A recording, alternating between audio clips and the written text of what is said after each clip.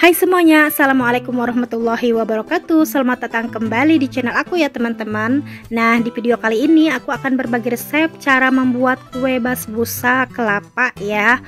Dan kue ini biasanya juga disebut gahwa Karena biasanya dimakan sama gahwa atau kopi pahit ya kalau di timur tengah itu Dan cocok juga untuk cemilan sehari-hari buat keluarga atau anak-anak di rumah ya teman-teman dan seperti biasa, sebelum kita lanjut ke videonya, jangan lupa dukung terus channel aku dengan cara klik tombol like dan subscribe, komen juga di bawah, serta aktifkan terus notifikasi loncengnya, agar kalian selalu mengetahui video terbaru dari aku. Dan so buat kalian yang penasaran, ikuti terus videonya dan simak terus.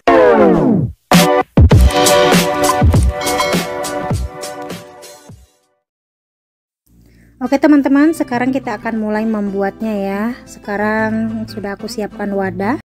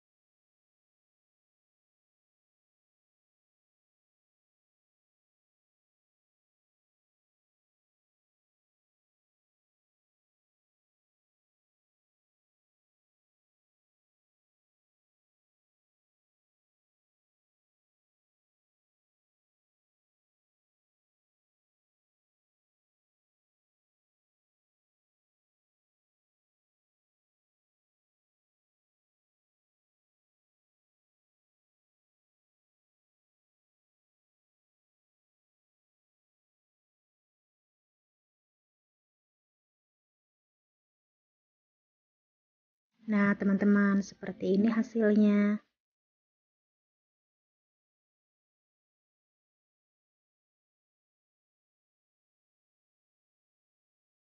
Nah, ini udah kita taruh di wadah ya.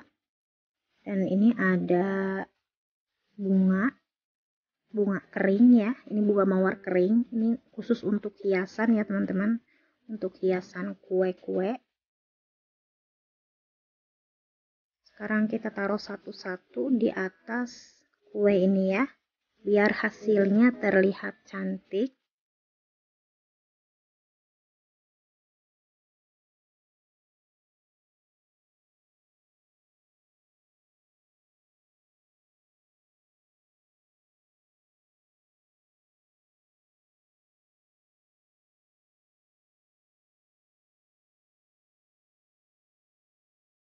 Nah, seperti ini ya teman-teman.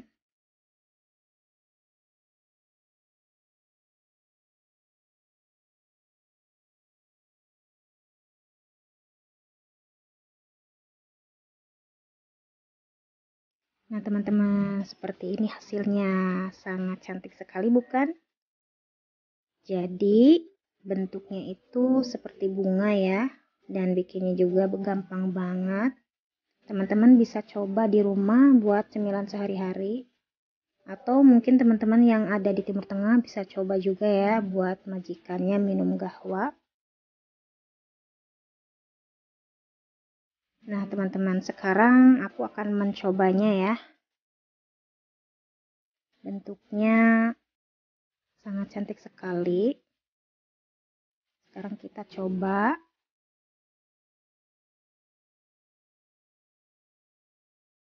Hmm, rasanya sangat enak banget loh teman-teman. Jadi rasa kelapanya tuh kerasa banget ya. Seperti ini hasilnya teksturnya juga benar-benar kerasa ya kelapanya Nah, buat teman-teman di rumah, selamat mencoba ya. Semoga videoku bermanfaat. Assalamualaikum warahmatullahi wabarakatuh.